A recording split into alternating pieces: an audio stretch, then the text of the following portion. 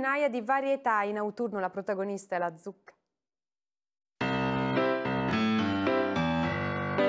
Ne esistono almeno 600 varietà, 15 specie diverse, di cui solo 5 di queste sono commestibili. Tutte hanno però forme particolari e colori vivaci. Sembra crescano da nulla. Bizzarrie di madre natura le zucche. La zucca cresce spontaneamente, chiaramente più hai ingrasso la zucca cresce meglio, ha solo bisogno di un po' di acqua e per il resto cresce. La mantovana è buonissima, quella che vedi là piccoline e gialle sono buone anche loro, cioè, la zucca è poi sempre buona. È l'arancio con le sue sfumature a dominare qui a Santa Maria Maggiore, suggestiva località della Bavigezzo sopra Domodossola, in un weekend d'autunno. Perché protagonista è lei e soltanto lei, la zucca, e non potrebbe essere diversamente, visto che in questo magico borgo, terra di pittori e spazzacamini, va in scena la quindicesima edizione di Fuori di Zucca, una kermesse dedicata ad un frutto della terra ricco d'acqua, dal sapore dolce, ma adatto a qualsiasi dieta. Santa Maria Maggiore la celebra così, tra decine di bancarelle disseminate tra le piazzette e vicoli del suo pittoresco centro storico. Celebriamo i sapori dell'autunno, da 15 anni vogliamo offrire un connubio tra i prodotti della terra e i colori di questa valle, i colori del foliage, quelli che cambiano in questo momento autunnale e che riempiono di poesia una valle incantevole e quindi la zucca diventa un elemento importante della produzione degli orti.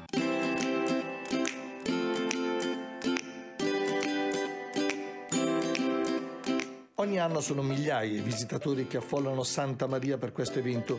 Molti di loro provengono da varie località della vicina Lombardia e dalla confinante Svizzera, ma altrettanti arrivano anche da altre capitali della zucca, come lo è Piozzo, in provincia di Cuneo. Quest'anno abbiamo seminato 600 varietà di zucche i cui semi provengono da tutto il mondo. Noi comperiamo i semi, poi li seminiamo nel nostro paese, li coltiviamo poi le raccogliamo e durante la fiera della zucca le esponiamo nel, sulla piazza del nostro paese in una mostra tecnico-scientifica.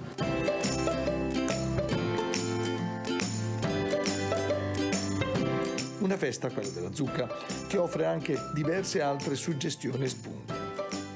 Dal trenino del fogliage, ad esempio, un variopinto viaggio tra i boschi vestiti dei colori autunnali a bordo di uno dei piccoli convogli che attraversano le valli ossolane.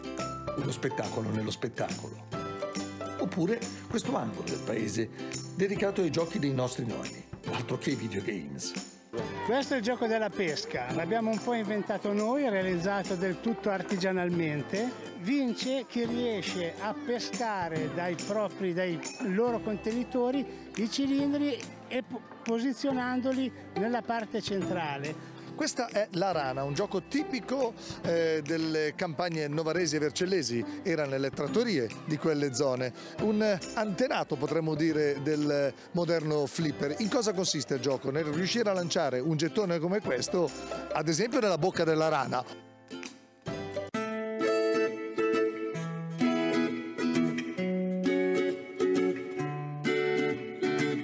rigorosamente distanziati, tutti con mascherina sul volto, ma con una grande voglia di vivere queste giornate con la zucca che la fa da regina, sia tra i vicoli del paese che tra le sapienti mani degli chef. E tutti i nostri visitatori hanno potuto godersi, oltre ad acquistarsela, ma anche godersi la zucca nei piatti grazie a proposte culinarie d'eccellenza. In autunno una delle primizie che si possono trovare sulle tavole è la zucca.